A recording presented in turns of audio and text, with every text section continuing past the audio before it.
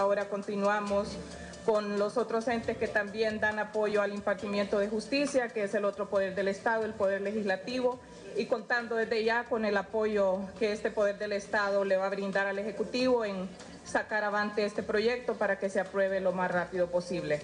Y sería reiterativo mencionarle todas las áreas que el Poder eh, Judicial pretende cubrir con esta ampliación, pero para eso tenemos aquí también a la viceministra Roxana, que con mayor eh, exactitud les puede decir de dónde estarían ellos, de qué línea de presupuesto estarían ajustándola para poder apoyar a esta iniciativa de ley enviada al Ejecutivo. Gracias.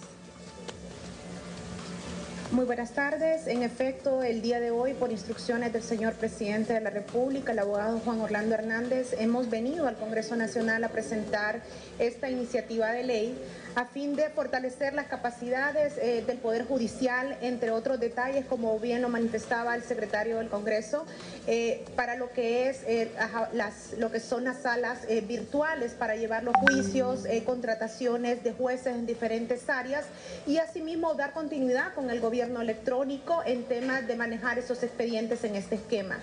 Desde el lado de los recursos, pues se hizo una revisión del presupuesto general de la República actual. El presupuesto no crece, el presupuesto es el mismo, son los mismos 282 mil millones que fueron aprobados bajo el decreto legislativo 171-2019 en diciembre del año pasado.